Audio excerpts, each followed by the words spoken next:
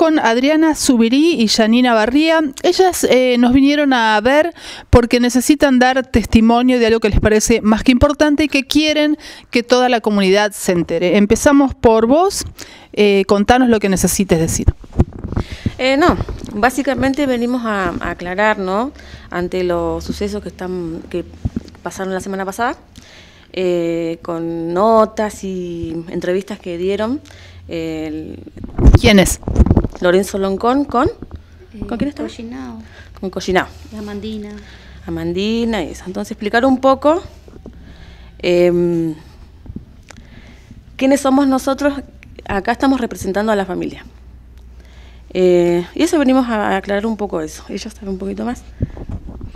Bueno, no, eh, más que nada aclarar eso. nosotros estamos, habíamos entrado en un acuerdo el 10 de julio en la asamblea en donde se pudieron elegir conas de diferentes sectores. Como no hubo consenso en las elecciones, quedaron las autoridades antiguas, que sería que el onco pasaría a ser Collinao por el fallecimiento de Ernesto, y de ahí seguirían las mismas autoridades que, que hubieron siempre en la comunidad. Eh, lo que pasa acá es que están metiendo la mano gente que no es nada de la comunidad, que en ese caso sería Lorenzo Loncón y Florentino Nahuel. Más que nada, eh, es verdad, porque yo sé que Lorenzo va a salir diciendo que sí es parte, porque es tesorero de la comunidad, porque se bajó la tesorera.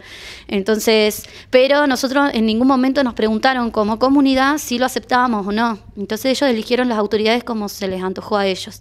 Eh, igual que el tema del padrón.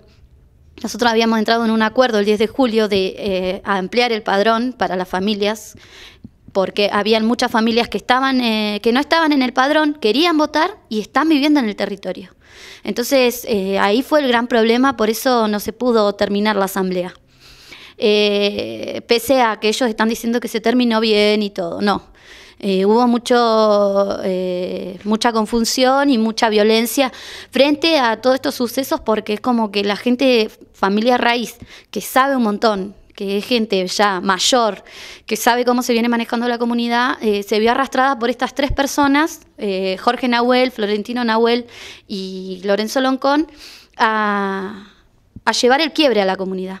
Entonces nosotros queremos salir ahora para decir y explicarle a la gente que nosotros no estamos en contra, en, contra de nadie excepto esas tres personas que te nombré recién.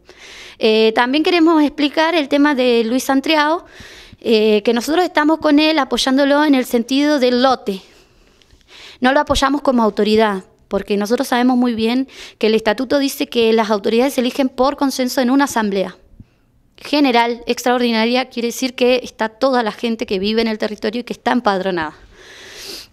Eh, en ese sentido no lo apoyamos, pero lo apoyamos en el sentido de que el lugar donde él quiere estar es de su padre, que falleció, y por ende, por sentido común, eh, él tiene que seguir estando ahí, porque es el hijo único de Ernesto Antriao. Eh, en ese caso la familia lo apoya totalmente, por eso, más que nada, también se nos involucró en muchas eh, peleas y disputas, porque creen que nosotros queremos a, Luis Santiago como lonco. Nosotros sabemos muy bien como familia, eh, el que tiene que ser lonco tiene que saber mucho y estar viviendo en el territorio y eh, estar empapadísimo de todos los asuntos de la comunidad. Entonces, por eso queremos aclarar eso. también nosotros tenemos el acta que firmamos todos pues, con las autoridades que quedaban y los CONAS que habían elegido eh, extras, que lo elegimos por cada sector, eh, y ellos eh, no llevaron el acuerdo que teníamos, no lo cumplieron, salieron a los medios a hablar que somos golpistas, que la familia no se decide, que la familia quiere intereses y que la familia... Y no es así.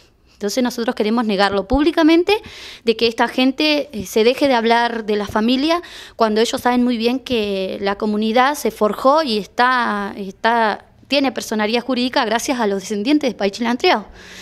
Entonces eh, queríamos aclarar eso y explicar un poco el tema de, cómo vamos a seguir. Nosotros tenemos ahora, juntamos eh, familias que no están en el padrón, que quieren estar, entonces nosotros estamos juntando a esa familia, por ese lado de, la raíz paichilantriao, ¿no? lo último sería, ¿no? Eh, que ya lo, hemos repetido muchísimas veces, es aclarar que eh, no, nosotros no tenemos intención de sacar a nadie de la familia que ya están viviendo ahí. Lo repetimos y lo volvemos a repetir y lo volvemos a repetir, lo repetimos de vuelta. Eh, que, piensen un poquito y que, que, mm, que, como que saquen conclusiones ellos mismos, que, que, no tienen por qué estar en contra, no tenemos por qué estar en contra ni ellos ni nosotros con ellos, porque acá no se quiere sacar a nadie a nadie, eh, no se quiere excluir a nadie, solo que estas tres personas se, se alejen de todo lo que es eh, autoridad de, de la comunidad.